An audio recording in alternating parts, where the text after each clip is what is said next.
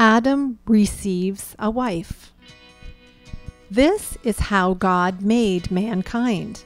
The Lord formed man from the dust of the ground. He breathed into his nose the breath of life, and man, which is Adam, became a living soul.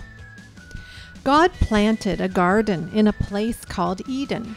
There he put Adam. In the middle of the garden were the tree of life and the tree of the knowledge of good and evil. God told Adam to keep care of the garden.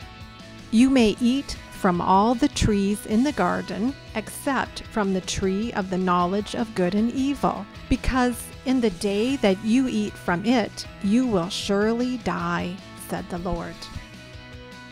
God said, This is not good that Adam should be alone. I will make a helper just right for him. Out of the ground, God formed every animal and bird. He brought them to Adam, and Adam gave them names. The Lord caused Adam to fall into a deep sleep. Then he took one of Adam's ribs and closed up his skin. God took the rib, made it into a woman, and brought her to Adam. Adam said, She shall be called woman.